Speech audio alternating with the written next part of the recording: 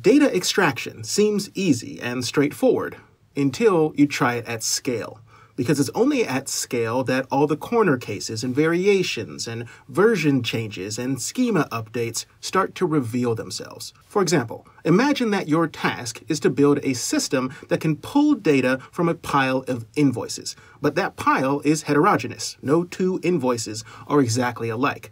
At the bottom of one invoice, it says amount due. The bottom of another says total. A third says final cost unpaid, at the top, and the fourth has just an unlabeled line item below a table. Not hard enough? Well, imagine that some of the invoices are for international physical goods, and some are for domestic services and everything in between. So you're going to have hours or minutes of services rendered, or metered usage measured in arbitrary units, and weights of goods in kilograms, pounds, or metric tons. And many of these will coexist on the same page.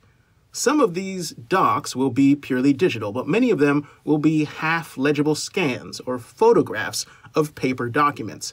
Each one has its own layout, each supplier has its own template, and handling all these permutations is driving you nuts. And just as soon as you've got it working properly, everything changes again.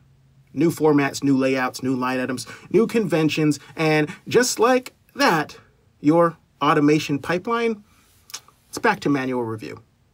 This is the problem of schema drift. How can you design a system that unifies all that chaos into structured, usable data without retraining or needing to fine tune a new model every single week?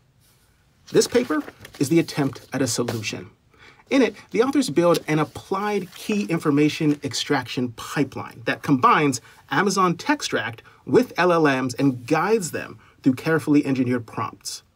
Instead of hard coding every field name or retraining models on endless document variations, they use configuration tables and prompt optimization to handle schema differences, unit conversions, and domain specific quirks.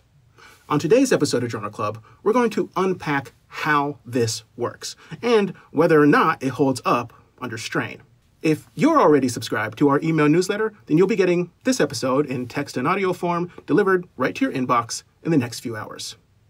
Journal Club, the latest academic research explained in plain English.